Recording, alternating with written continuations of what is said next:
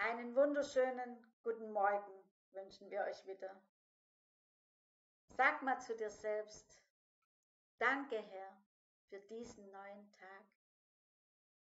Danke Herr, dass ich heute wieder ein Segen sein darf für die Menschen mit den Talenten, mit den Gaben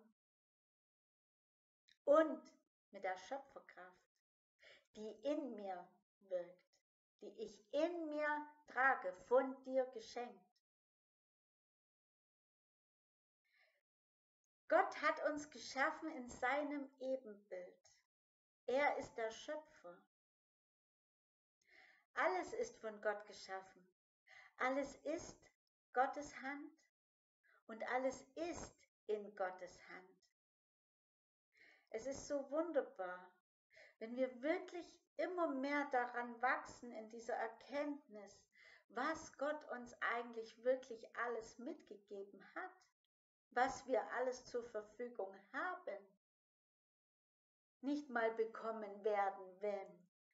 Er hat uns geschaffen in seinem Ebenbild, gesandt mit einem Auftrag. Und für diesen Auftrag hat er uns ausgerüstet, ausgestattet mit allem, was wir dafür brauchen. Diese Schöpferkraft in uns in Jesus Christus haben wir diese Schöpferkraft in uns. Im neuen Bund lebt ja Jesus in uns, diese Schöpferkraft. Es liegt an uns, dass wir die immer mehr wirken lassen. In uns und dann durch uns.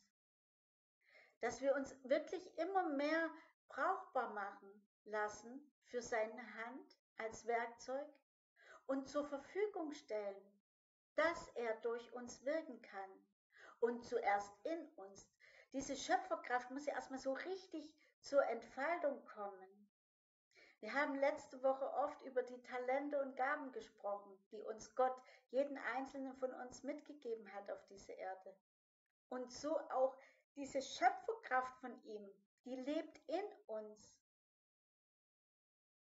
Es liegt an uns, diese so richtig zu entwickeln, zu entfalten und so richtig zur Verfügung zu stellen, zum Segen für die Menschen.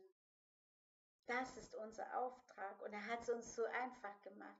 Und ich möchte heute gern mal mit euch im ersten Mose lesen, einfach mal so richtig wirken zu lassen, wie wir geschaffen sind.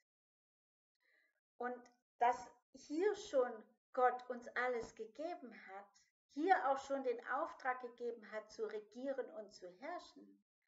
Es ist nicht unser Auftrag, hier auf dieser Erde über die Runden zu kommen und einfach nur unter den Umständen zu leiden, zu jammern, zu meckern, schimpfen. Nein, wir dürfen über den Dingen stehen. Wir müssen über den Dingen stehen, weil wir alles in uns haben. Wir, die Schöpferkraft in uns, Gottes in uns regieren und herrschen.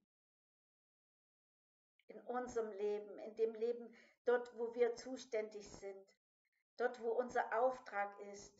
Daran dürfen wir immer mehr wachsen. Und das ist so wunderbar und das gibt so Kraft und, und so Zuversicht, auch für die Zukunft. Gehen wir zum 1. Mose, Kapitel 1 und fangen an, Vers 26. Und lass es mal so richtig wirken, wie wir geschaffen sind. Gott ist der Schöpfer von allem. Alles ist Gottes Hand und alles ist in Gottes Hand. An der Erkenntnis dürfen wir wirklich immer mehr wachsen.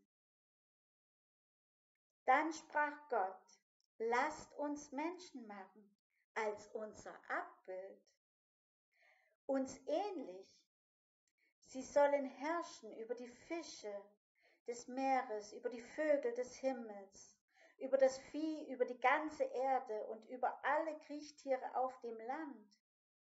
Vers 27. Gott schuf also den Menschen als sein Abbild.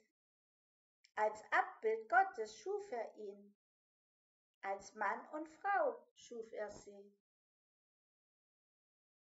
Vers 29. Gott segnete sie und Gott sprach zu ihnen, Seid fruchtbar und vermehrt euch, bevölkert die Erde, unterwerft sie euch und herrscht über die Fische des Meeres, über die Vögel des Himmels und über alle Tiere, die sich auf dem Land regen. Amen.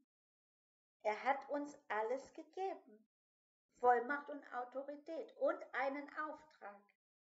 Seid fruchtbar und vermehrt euch. Das betrifft nicht nur das Kinder bekommen, was manche Menschen denken. Nein, fruchtbar und vermehret euch ist unsere Aufgabe mit unseren Talenten, mit unseren Gaben, mit unserem Auftrag, mit dem, was wir tun, mit unserer Aufgabenstellung. Wir müssen Frucht bringen, ein Segen sein für die Menschen. Und dann lesen wir weiter im Vers 29. Dann sprach Gott, hiermit übergebe ich euch alle Pflanzen auf der ganzen Erde, die Samen tragen, und alle Bäume mit samenhaltigen Früchten. Euch sollen sie zur Nahrung dienen. Alle Tiere des Feldes, alle Vögel des Himmels und allem, was sich auf der Erde regt, was Lebensatem in sich hat, gebe ich alle grünen Pflanzen zur Nahrung. So geschah es.